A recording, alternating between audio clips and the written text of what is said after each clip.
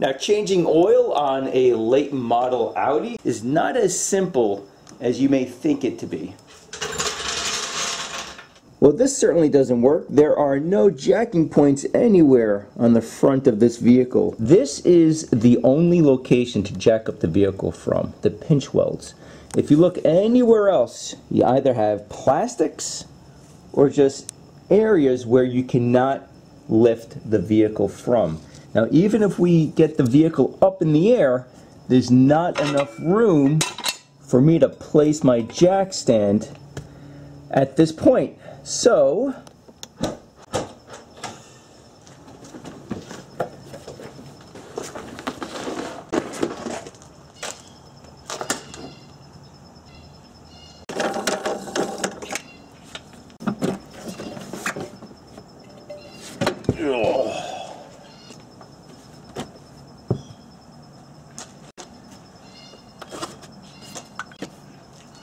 Now the main thing here, make sure you leave enough room to fit the jack stand. Old school, but it works, it works. Highly recommended you purchase these jacking pads. I'll have a link for these in the description box below, but they fit perfect inside the pinch welds. So now we have both wheels off the ground safely on jack stands. Let's drain the fluid. Hold on another problem, or I should say, not a problem, but something else to contend with. The plastic noise cancellation trays. This has to be dropped in order to drain the fluid. Now another reason why you never ever go to a quick lube location these fasteners are incredibly expensive and I guarantee you they will not replace every single one. Do not lose these. And let me give you a perfect example. Toward the rear of the tray, I have one type of fastener. One is missing. The last one completely different. These are captive. In other words, when you loosen these, it stays with the belly pan. And over the years, people don't know this, and now these really need to be replaced. This slides out drops. So right here is our oil pan. This is the oil level sensor. It's also a temperature sensor. So with these vehicles from the factory, they do not come with a traditional dipstick. You check the oil level from inside the cabin. I don't like it for a thousand reasons, but that's just the way it is. So if you do ever need to replace this sensor, it's right here, easy enough. This is the oil cooler, and right here is the drain plug. Now before we drain the fluid, I want to allow some air into the system.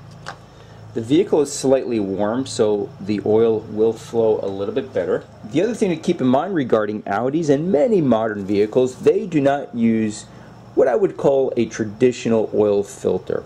In other words, you may be used to something like this and you have an adapter and you remove it from the vehicle. Completely different here.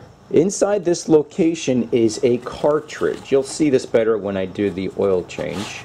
Okay, now to remove this, you'll need a 36 millimeter socket, an adapter. You can buy them specifically for these vehicles. Now, if you do not have this and you do not want to buy one, visit your local parts store. Chances are you can rent this for free. These are typically the same size for many, many axle nuts. Okay.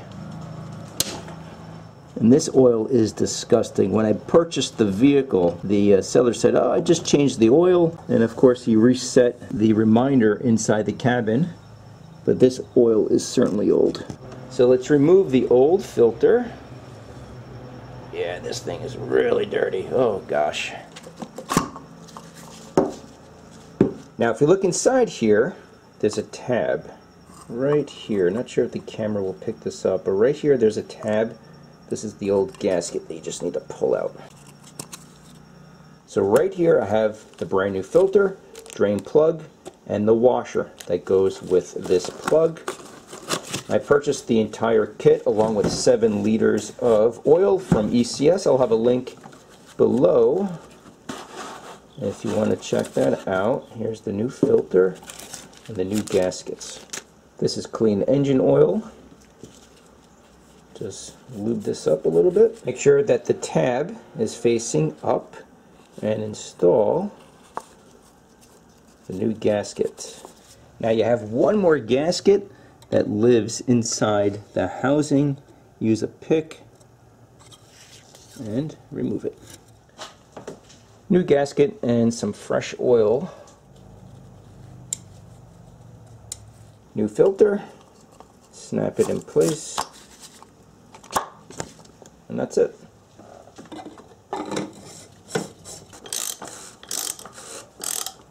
This is our new drain plug and drain washer. So now we're going to add fresh oil. Unfortunately, again, this takes a little bit longer because these modern vehicles, they do not have a dipstick. For this vehicle, I can purchase one, but it's close to 50 to $60. So we have to use the vehicle's computer. The capacity for this engine is 6.8 liters. I'll add 6.5, start the vehicle, check for leaks, check the level inside the uh, cabin, and then we can top it off. Don't forget to reinstall the oil filler cap. I'm now going to lower the vehicle and let's check for leaks.